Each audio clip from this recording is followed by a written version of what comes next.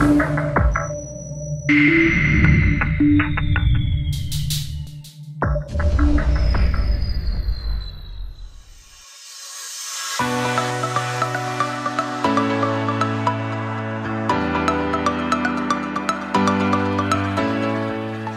schwächsten Teilnehmer im Straßenverkehr, das sind Kinder.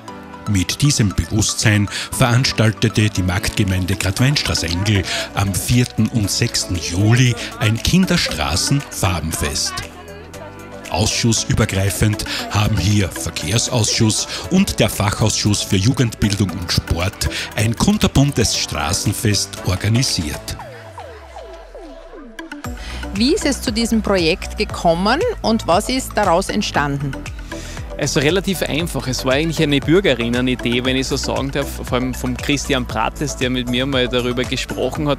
Du Gernot, wir haben da wirklich eine problematische Situation, eine 20er-Zone, sehr viele Kinder da am Goethe, am Ring und die Leute fahren halt trotzdem relativ schnell und vor allem in den Gefahrenzonen. Und da haben wir uns gedacht, naja, relativ einfach machen wir was, was Cooles, was, was den Kindern gefällt und was vielleicht auch darauf aufmerksam macht, liebe Leute, da sind Kinder. Ja? Und darauf sind wir gekommen, dann, dann malen wir, bemalen wir diese, diese, diese Straße eben bunt, dass das extrem auffällig wird. Und so ist es dann auch passiert. Wer war an der Umsetzung des Projekts beteiligt? Ja, ist im Grunde wie, wie üblich in Jugendangelegenheit das Kick-In-Team natürlich. Und dann haben wir aber verzweifelt nach einer künstlerischen Leiterin, nach einem künstlerischen Leiter gesucht. Und da hat sich dann die Elisabeth Sebastiani angeboten, die durch das Farbenfest ja schon bekannt ist in der Gemeinde. Und die hat dann gesagt, ja, sie macht da gern mit und sie organisiert. Und so ist eigentlich aus einem kleinen Farbenfest ein Zweitagesfest äh, gekommen, ja, äh, mit vielen, vielen Kindern. Im Endeffekt waren fast 400 Kinder an zwei Tagen da, äh, die gemeinsam mit Elisabeth, mit den Lehrerinnen und Lehrern das Ganze umgesetzt haben. Und das war natürlich erstaunlich, hat aber mein Budget auch natürlich von Anfang an gleich gesprengt, weil das war nicht vorgesehen. Aber das Ergebnis, das man dann sicher sehen kann, das, das hat sich auf jeden Fall gelohnt.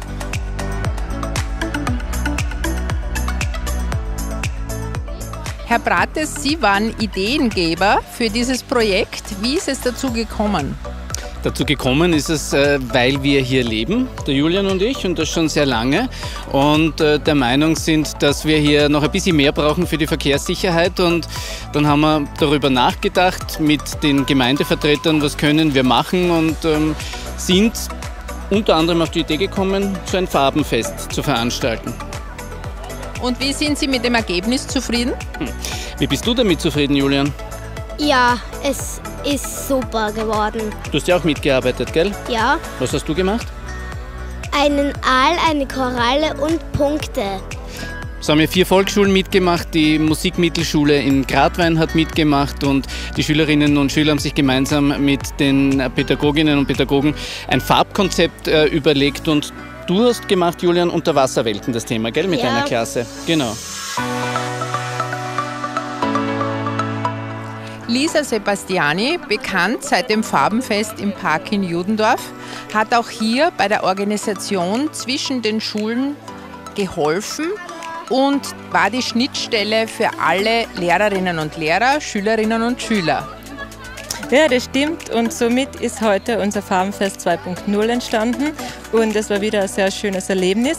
Diesmal nicht tanzen, sondern diesmal haben wir alle die Farbkübel gemischt und es wurde ein bunter, kunterbuntes Fest. Ja.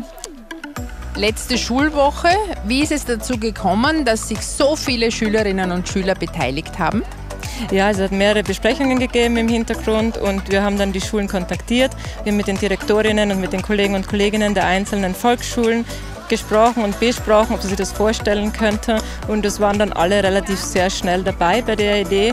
Und so ist es dazu gekommen, dass am Montag und am Mittwoch jeweils fast 200 Schüler und Schülerinnen hier in Judendorf am Ring und in der Goethestraße sich verwirklichen konnten. Und es sind ganz tolle Ideen entstanden. Jede Volksschule, ob jetzt gerade Wein, Judendorf, Schierning oder Rhein, hat ihre eigene Idee mitgebracht. Und so haben wir eine Unterwasserwelt. Ja. Wir haben 100 Wasser von der Volksschule Judendorf, die Volksschule Rhein Verein ähm, Bienen zu uns mitgebracht ja. und auch von der Musikmittelschule äh, Gradwein sind tolle Ideen entstanden. Wir haben Diamanten jetzt am Ring, wir haben die Körperwelten der 4C und letztendlich auch von einer anderen Musikklasse tolle Ideen, äh, die man selber bitte bewundern sollte. Der Foodtruck von Christine und Tour und der Gelato Eiswagen verwöhnten Kids und Erwachsene mit allerlei Köstlichkeiten und bevor auch wir vom WebTV Filmteam diesen Gratis-Service der Gemeinde samt Erfrischungsgetränken in Anspruch nahmen, hat Reporterin Beryl Schelch noch mit Hanna, Mirella und Anna-Luise ein Interview geführt. Hanna, wohnst du auch da in der Umgebung und findest du das, wenn du hier wohnst, eine tolle Idee? Ja, also ich wohne da hinten. Und ja, ich finde es eine tolle Idee, weil ich muss manchmal lächeln, wenn ich die Zeichnungen sehe. Die Mirella ist auch fast Anrainerin hier in dieser Siedlung und hat mit ihrer Klasse auch zu diesem Projekt beigetragen.